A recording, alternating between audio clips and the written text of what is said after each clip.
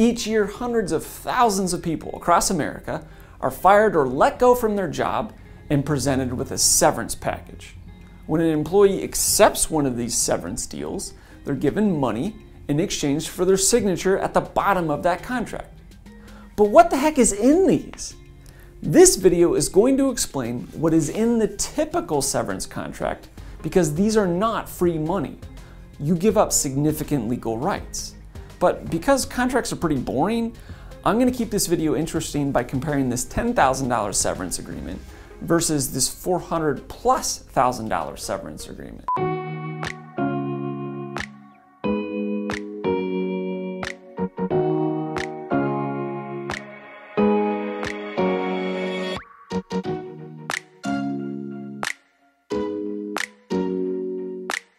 Before we get into it, we need to get three simple things out of the way. Number one, you're about to see actual severance agreements of former clients of mine. All identifying information has obviously been redacted, but these are as real as it gets. Number two, I've made several other videos on severance. One was about how to determine if your severance offer is fair or not. And the other was about how to negotiate for more severance if you didn't get offered something fair. I highly recommend that you watch those other videos after you finish this one. I'll give you the links at the end of this video. Number three, I have a license to practice law only in California, but I've made this video to help anyone in America because most of the terms in a severance deal are very similar from state to state. However, YouTube videos are not legal advice. If you need legal advice, call an employment lawyer in your state so he or she can read your actual agreement and hear your termination story. This video is meant to give you a basic understanding of what is in these agreements so you can ask your lawyer educated questions. Now, if you did work in California and you were presented with a severance deal and you think that there was something seriously wrong with your termination or suspect with your termination, don't be afraid to call my office for a free consultation if you think I've earned your phone call. All right, let's get this party started. Okay, for this video, we're largely gonna be looking at the computer screen, at certain contracts. And that sounds really boring, but we're gonna compare this $10,000 severance agreement with this $400,000 plus dollar severance agreement. So you can see the differences between the two. Um, you'll find that they're not that different. Um, but I really want you to understand the basics. What are they saying? What do these terms actually mean so that you can make an informed decision whether or not you want to sign it or if you need to hire an attorney to do a better review. So here we're going to be looking, uh, we're going to be going back between this is the $10,000 one, simple redacted, and then we're going to look at the complex redacted, which is the 400,000 plus dollar one. Number one, party definitions they usually define who are the parties to the agreement. So if we look here, it says this agreement is made by and among the name of the employee, the employee, and the name of the company, the company. Um, this is really where it lays out who is who and how they're going to be referred to in the contract. Simple enough, right? Does this exact same thing in the $400,000 one right here. Number two, recitals. The next part of the contract is kind of introductory remarks, and we call these recitals. Um, you'll see in the simple uh, $10,000 one, the recitals are very short. In the complex one, the 400K one, they're much longer. But they largely are just introducing what the contract is, what it's for, and what the parties are trying to do with it. So uh, I think the better example here is in the $400,000 one. Um, we'll skip some of the unimportant ones, but here's really what you should read.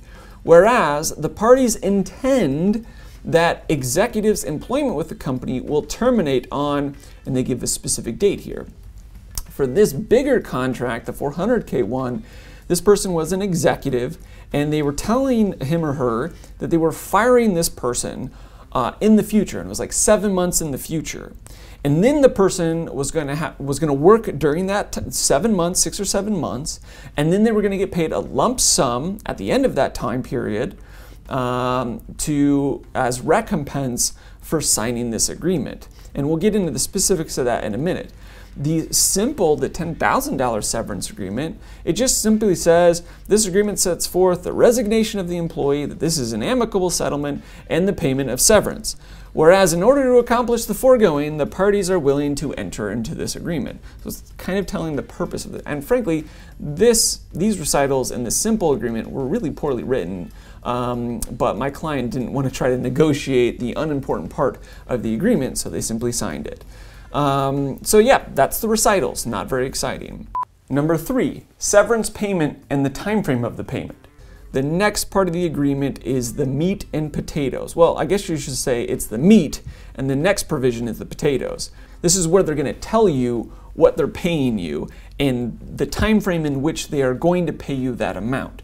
So if we look at the $10,000 severance deal, uh, it literally says, in consideration of employees' promises, that means in exchange for the employee signing this agreement, the company hereby agrees to pay employee the total sum of $10,000. That's the severance payment. Okay, that's how much they're going to pay you.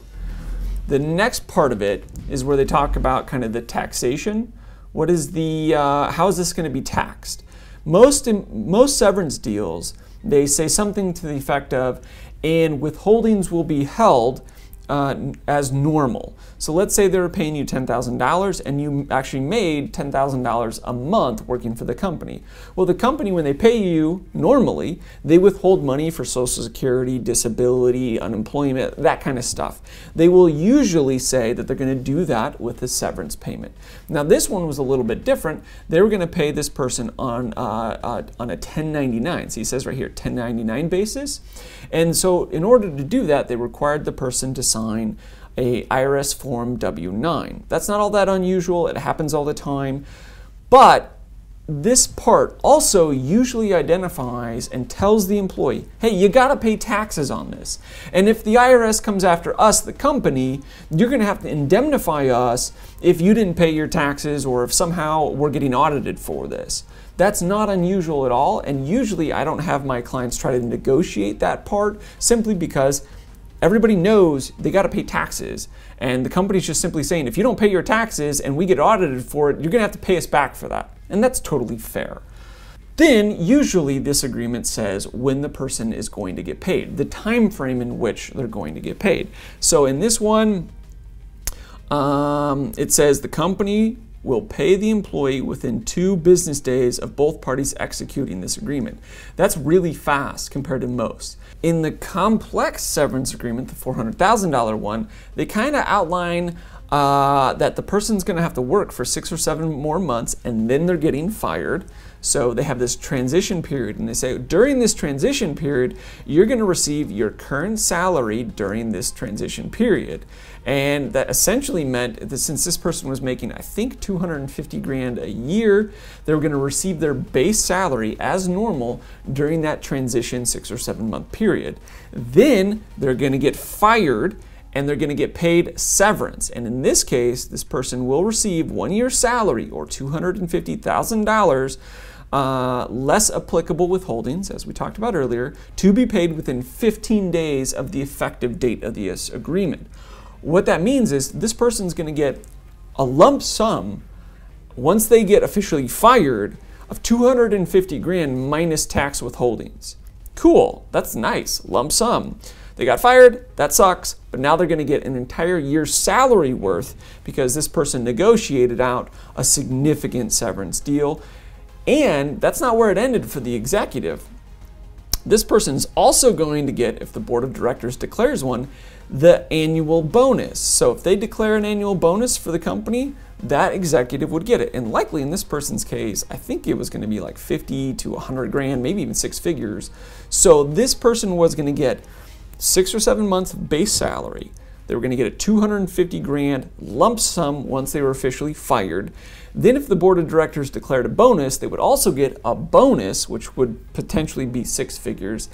And then it goes on to say COBRA premiums. This person might actually get 12 months of their health insurance premiums paid by the company so normally when somebody gets fired and they're on the company's health insurance plan, the company needs to provide them with a COBRA notification, which says they can elect to continue using company health insurance benefits, but they simply need to pay the premium. This is very common, very normal, and a lot of people, when they're negotiating their severance deal, they negotiate that the company is going to pay their COBRA premiums, their health insurance premiums, for a certain amount of time. Now, again, this was a highly compensated executive. This is somebody who had a lot of leverage over the company. Now, what this doesn't tell you is why is one person getting paid 10 grand and the other person getting paid $400,000.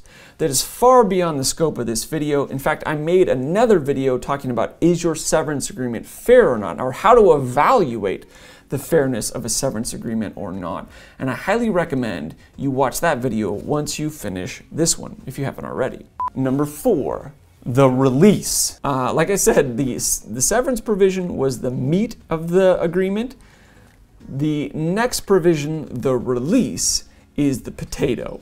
All right, this is what you're giving up for the money. This is the whole point of why the company is offering you severance. They are offering you money in exchange for a release. So let's scroll down here and let's look. The release. Essentially, what all this says is that you are giving up your right to sue the company. And in the $400,000 severance agreement, it says it generally. It says they're giving up your right. Executive releases and forever discharges company from any and all claims, complaints, charges, duties, obligations, demands, and causes of action of any kind, of any uh, nature and character, known and unknown, which employee may now have or has ever had against any of the you know releasees, like the company entities, the employees, subsidiaries, parent companies, which arose prior to or on the date of the execution of this agreement. So you're signing an, agreement, giving up your right to sue the company for anything that happened in the past from the date, you know, you signed the agreement on January 1st. Anything that happened before that is covered by this agreement. Anything in the future is not. Now, in both of these agreements, there's this general release, and then they get into some specifics. Uh, for example, the Age Discrimination and Employment Act, Americans with Disabilities Act. In the $400,000 severance agreement, it specifically outlines you're giving up your right to discrimination, harassment, retaliation, wrongful termination claims. And then they outline specific statutes the California Labor Code, Labor uh, Private Attorney PAGA claims, the Fair Employment and Housing Act. These are California specific statutes because this was a California company and a California employee. Um, most severance deals have this big release provision, and it's really just trying to hammer home what you're giving up by signing the agreement. Number five, no admission of liability. It usually says something to the effect of the parties agree that nothing contained in this agreement and no action taken by either party uh, with regard to this agreement shall be construed as an admission of liability or that either party did anything wrong. So by signing this agreement, you're acknowledging the company is not admitting to doing anything wrong and you're not admitting that you did anything wrong. Both parties are signing this to gain peace and move on. Okay? Number six, the Age Discrimination in Employment Act. Now, if you're over the age of 40 and the company has fired you and they're offering you a severance deal, there's usually, because by law they have to have it in here, a provision called the Age Discrimination in Employment Act, or ADEA.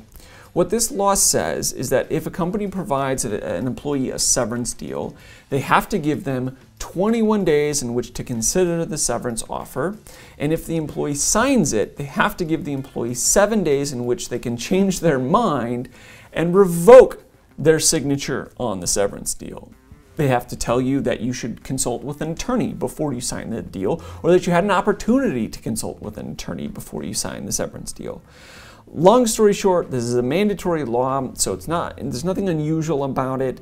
Uh, and it's in almost every severance deal where the person is over the age of 40. Number seven, confidentiality. Now, and you all knew this was coming, the next really big provision is confidentiality. Obviously, right? By signing this agreement, you're going to have a muzzle on your mouth as to what you can talk about after you sign it. Um, and this is in every severance deal. So here in the simple $10,000 one, there's a confidential information the employee shall not use nor disclose to anybody any of the company or its affiliates or predecessors or financial information that the employee learned while working with the company. Confidential information shall include confidential, proprietary, trade secret, scientific, technical, business, blah, blah, blah, blah, blah, blah, blah. You're giving up your right to talk about proprietary things that you learned while working at the company. Also, and this is really important, um, if we go down to the confidentiality provision um, on the $400,000 one, there's going to be part of this that says you can't tell people about how much money the company is paying you in the severance deal. So let's say they're paying you 50 grand and you sign it and you get that money. You can't go tell all your buddies who still work at the company, hey, they paid me $50,000. That would definitely breach almost every single severance agreement I've ever read. They don't want people knowing how much they paid you. And frankly, it's not anybody's business and you shouldn't want people knowing either. They also have provisions regarding trade secrets, proprietary information, and this is really important that you carefully evaluate this and carefully read it. Most companies have things that they want to keep quiet because they derive economic value from keeping those things quiet, whether it be the design or a formula for a product or how they manufacture something or a customer list, whatever. They don't want you going out and using that with a competitor or, or telling people about it. So make sure you understand what you're signing before you sign it. Number eight, a non-compete and or non-solicitation clause. After confidentiality, there's usually a paragraph or two about non-competition or non-solicitation. What do these mean? Well, um, in many states, uh, employers and employees are allowed to contract and actually sign an agreement that if the employee is fired or they leave their job at that company, they can't go work for a competitor. Now, with some exceptions, provision, non-competition provisions like that are unenforceable in the state of California. So if you're in California, largely they can't do that, even though I see companies try to do it all the time. In many states, non-competition agreements are legal. So you're going to have to check with your state's laws or consult with an attorney in your state to find out if those provisions are valid in your state. Beyond that, we also have non-solicitation provisions that says if you go work for a different company or a different industry or even a competitor, you can't go back to your buddies who worked at the you know, employer and solicit them to leave and come work for your new company. There's usually a provision, a time limitation on that. It says you can't do it for a year or two. Um, depends on your agreement, your state's law but largely those are enforceable. Number nine, non-cooperation. After these non-competition, non-solicitation provisions, we usually have something called non-cooperation. What this is asking you to do is if a buddy of yours or somebody at the company who's still there is thinking about suing the company and they're trying to find out information about the company or they're trying to get you to help them with a lawsuit, this provision is prohibiting you from cooperating with them in their quest to sue the company and get money from them. Or if there's some sort of government inquiry going on uh, into that company's affairs, you can't cooperate with them. Now, there's limitations to this, and you're going to want to read your provision specifically and consult with an attorney in your state as to what's allowed in your state.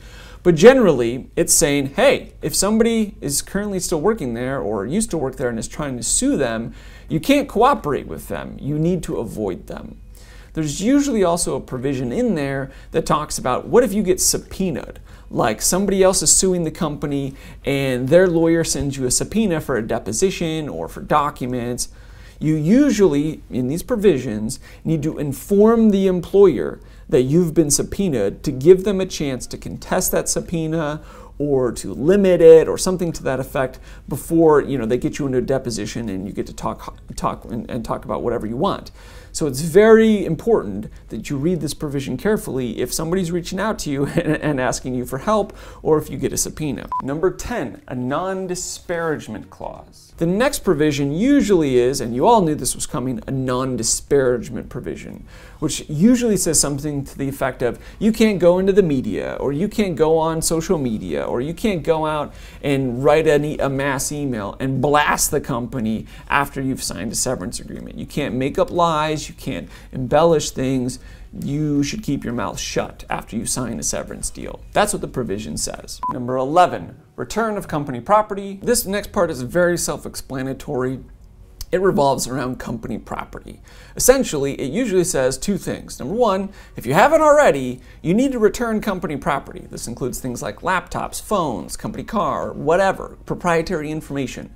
You need to affirm that you don't have it anymore and that you've sent it back, or you need to affirm that you already have returned all company property. Um, so this is pretty self-explanatory.